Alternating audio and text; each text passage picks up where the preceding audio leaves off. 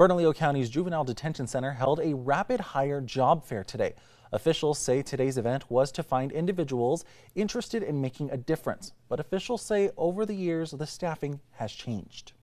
Our staffing numbers have dropped slightly, um, actually more than slightly. Uh, we're, we're sitting, I believe, right about 49%, which is kind of unheard of for us. Although, what's really brought a lot of this to light is the numbers have increased um, in our population uh, within the facility over the last six months. Um, Deputy County Manager for Public Safety Greg Perez says the Christmas Day disturbance, where 13 inmates ages 13 through 18 took over a common area, was a wake up call for the urgency of staffing.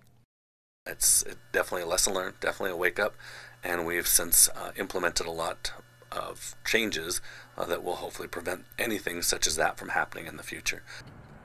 Some positions include youth program officers, which entails supervision, care, and treatment of residents who are in custody at the detention center. Officials say they do plan to have another hiring event next month.